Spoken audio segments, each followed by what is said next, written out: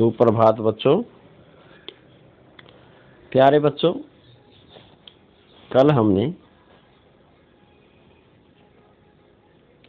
बाल महाभारत कथा का पाठ नंबर चार, विदुर का अध्ययन किया था। मुझे आशा है आपने उसे ध्यान से सुना होगा। तो उसकी मुख्य बातें उन्हें अपनी नोटबुक में नोट भी किया होगा। तो प्यारे बच्चों क्या पढ़ा था कल हमने? कि विदुर जी अंबालिका की जो दासी थी, उनके पुत्र थे। वो बहुत विद्वान थे और उनके बचपन का नाम धर्मदेव था। भीषम पिता ने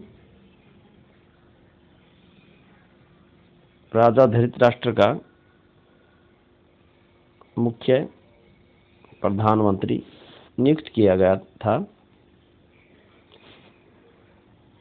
सब उन्हें प्यार से काका कहते थे। वो बहुत सम, समझदार शांत स्वभाव के थे। उनकी बातों को सब मानते थे।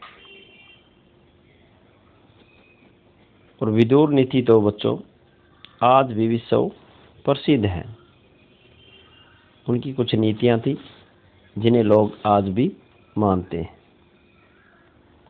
तो प्यारे बच्चों, हमारे अध्याय का नाम क्या है? विधुर विदुर और उसके जो मुख्य, जो प्रश्न उत्तर बनते हैं, आज हम उनका अध्ययन करेंगे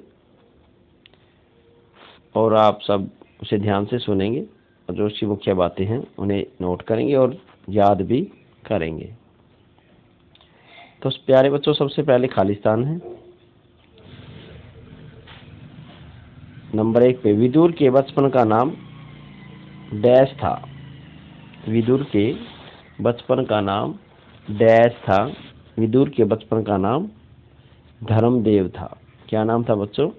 धर्मदेव। धृतराष्ट्र ने युधिष्ठिर को डैश खेलने के लिए बुलाया। धृतराष्ट्र ने युधिष्ठिर को जुआ खेलने के लिए बुलाया। तो प्यारे बच्चों, धृतराष्ट्र ने क्यों बुलाया था? क्योंकि उन पे दुर्योधन ने दबाव डाला तो उनको दुर्योधन की बात को मानना पड़ा और उन युधिष्ठिर को जुआ खेलने के लिए आमंत्रित करना पड़ा। तो प्यारे बच्चों, सबने इस बात से मना किया था। विदुर जी ने भी जुआ खेलने से मना किया था। लेकिन दुर्योधन कुछ और ही चाहता था। वो चाहता था कि पांडवों को यहाँ से निकाल दिया जाए या उनको मार दिया जाए। तो इसी वजह से वो हमेशा कोई ना कोई षड्यंत्र रचता रहता था पांडवों के खिलाफ। तो अगला खालिस्तान क्या बच्चों? धर्मशास्त्र धर्मशास्त्र तथा राजनीति में डैश का ज्ञान अथा था। किसका ज्ञान अथाह था बच्चों?